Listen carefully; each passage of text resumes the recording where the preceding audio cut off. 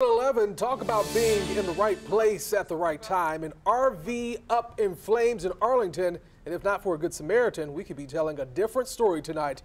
Camerell Eppinger is on your side, bringing us this heroic story. A plume of smoke fills the air after an RV catches fire in Arlington. And we pulled right on over, and uh, gosh, three minutes, it was, uh, you couldn't breathe in there. Bill Hancock was driving with his wife and dog when another driver told him their RV was on fire. Now, so that's the back cap.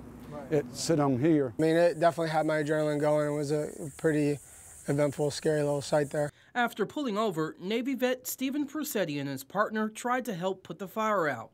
He says the flames rose to about 15 to 20 feet in the air. And we were driving behind him, honking. That thing's about to blow, dude. Thing is about to blow. Afterwards, Stephen called police and then helped unhitch the car attached to the RV. The time it went down, we disconnected the, the car, backed it up, and then about 30 seconds later, uh, it just went and the whole thing just lit up on fire. Despite the destroyed camper, Bill is counting his blessings. He says he doesn't consider it a total loss, but more of a temporary setback. Look on the bright side of it. It's, you know, there's always something good.